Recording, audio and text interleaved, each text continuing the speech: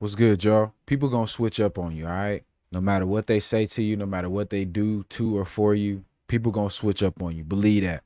Now, this video doesn't have any rhyme or reason or any type of real structure to it, to be honest with you. Obviously, no script, just something that's on my mind, and I felt like sharing it with y'all since I don't generally share my inner thoughts with the people around me generally. Just don't feel like I could trust people like that around me. So, you know, I got to keep everything to myself.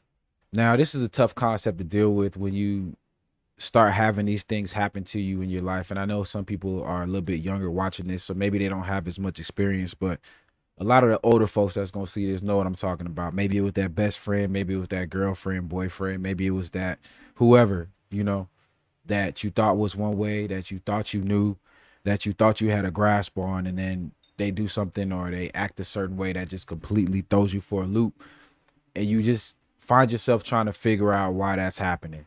My advice to you is to stop trying to figure out why that's happening. Stop trying to understand what's going on in somebody's head.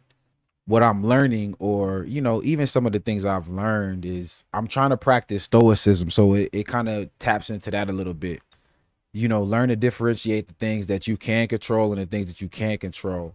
And those things that you can't control, control them, you know, waking up early, you know, going to the gym, doing whatever it is that you want to do and that you know you're supposed to do and the things you can't control you know how people respond to you you know the the traffic on the freeway the weather the things you can't control you just got to let them go and just let them do what they do because stressing out and and pre-suffering for things just isn't productive. It doesn't help anybody you or the people around you. It's tough because it's like you know you want everyone to like you, especially the people that you know you care about or that you're close to, that you got an affinity for. You definitely want those people to like you. But newsflash, a lot of people don't really fuck with you like that.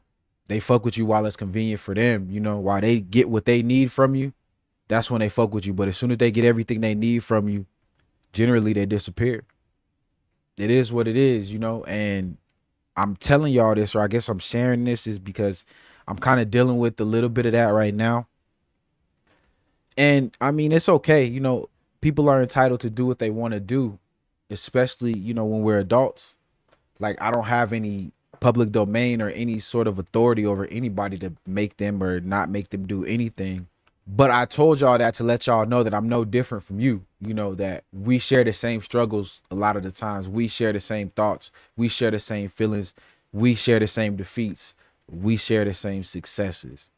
Things like this aren't exclusive. You know, it's not like you have to be a certain type of way or speak a certain type of way or act a certain kind of way to have these things happen to you because they happen to everybody. And it even happens to some of the people that you might think the most highly of that you wouldn't expect things like that to happen to but they do.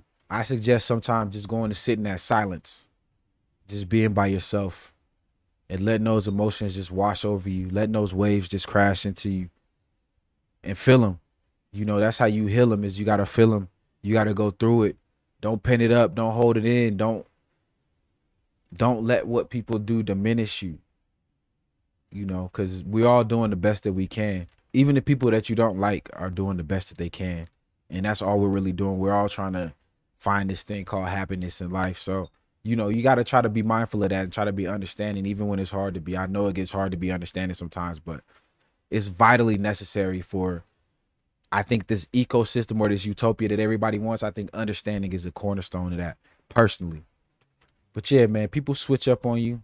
There's nothing you can do about it. There's usually never any real warning. I mean, there might be warning signs, but when you're in the middle of things, especially when you're tied up with other people, it's hard to like, you know, differentiate things and it's hard to like pay attention to red flags that you may see and it's hard to, you know, really slow down and and view things not through the rose colored glasses but through the bifocals that ben franklin had. You know what i'm saying? So you can really get a scope of what's going on around you the people around you. Fear not though however because you are strong enough to do what you need to do. You already been doing what you need to do. You got to go to sleep with yourself and you got to wake up with yourself even if it's somebody in the bed next to you or on the floor or wherever the hell you sleeping at. Be steadfast. Persevere. Don't be fearful expect these negative things to happen because they're inevitable. It is how you respond to the negative things that happen to you, or let me say the perceived negative things, because a lot of the the shit that we consider negative is a, our perception that we put on it. So sometimes the thing may not be as negative as it appears. It just, you know, our human brains are so advanced. They can do so much that sometimes they create a whole fantasy idea or imagination that never comes to exist, that never comes to fruition. So, all right, then, y'all.